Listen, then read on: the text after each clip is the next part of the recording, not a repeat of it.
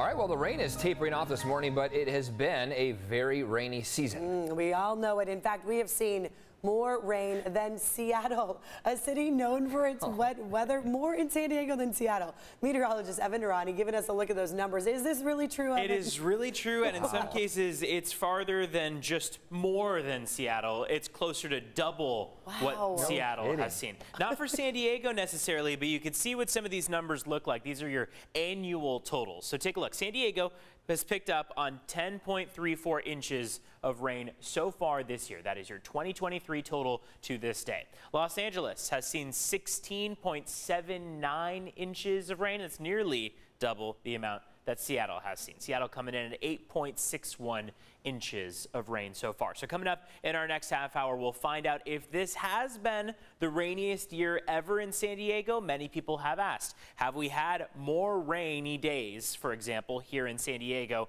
this year than any year past? National Weather Service has put out some amazing information on how this season stacks up to previous, so we'll get into that in just a bit.